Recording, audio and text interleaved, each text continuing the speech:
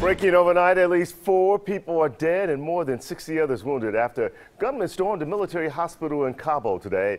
It set off clashes with security forces that are still underway. A defense ministry spokesman says an unknown number of gunmen entered the hospital after an explosion and gunfire at hospital is near several embassies. 5 o'clock.